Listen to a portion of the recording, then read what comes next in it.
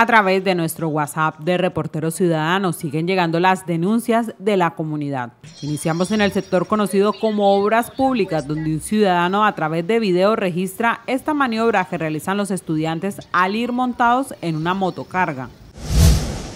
Y desde otro sector de la ciudad también llega una denuncia ciudadana por el mal estado en que se encuentra el Parque a la Vida, donde se puede evidenciar el botadero de basura en el que se ha convertido. No hay derecho.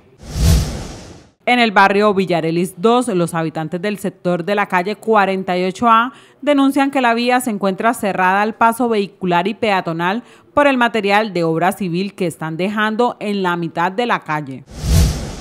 Y el robo de cableado no para. Ahora los habitantes del barrio Primero de Mayo denuncian que se robaron los cables de las luminarias de la cancha de fútbol, dejando el escenario deportivo a oscuras.